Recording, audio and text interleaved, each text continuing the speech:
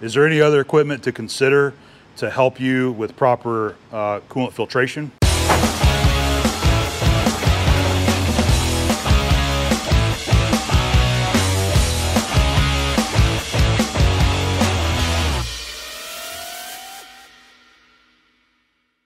Hi everyone, Justin Geach here with Master Fluid Solutions.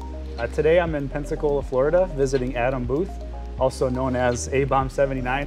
So we talked about the uh, the Sump Shark and uh, you know coolant filtration machines. Is there any other equipment to consider to help you with proper uh, coolant filtration?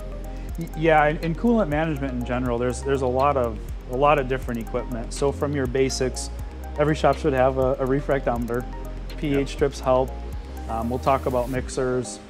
And then you get into your coolant and fluid maintenance, which is your sump suckers, um, and then, you know, we talked about tramp oil and getting the contaminants out of the fluid. So things like belt skimmers are, are, inexpensive and can help you get some of that, that tramp oil out. And when you look at tramp oil, your, your starting point is a belt skimmer.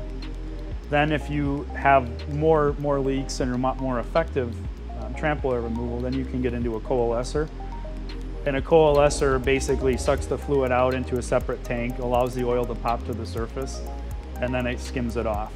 So a skimmer works really well if there's a um, stagnant layer of oil on the top, but when your coolant is circulating and flowing, it's mixing up and a skimmer won't pick that up. Right. Whereas a coalescer will.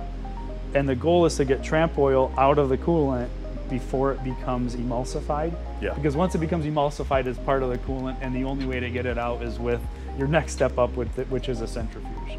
Okay. So Depending on your needs, there's anything from belt skimmers all the way to centrifuges, recycling equipment to skimmers, refractometers, mixers. There's a whole range of, of fluid management equipment out there.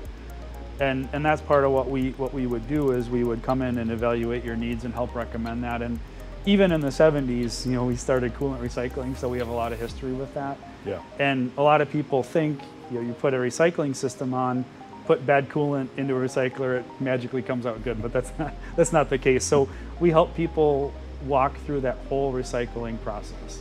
Okay. Um, and what's needed before they invest in that equipment. So um, we can help show you, you know, if you're using a, a, shop vac to what, what it looks like and how quickly your machines can get clean with a sump sucker. Um, and we help, we help shops with their entire fluid management practices. Yeah. So there's, there's a very broad range. It can kind of be overwhelming. A lot of it is a significant investment, so we want to make sure you know, we have the right thing for, for a shop's needs. Absolutely.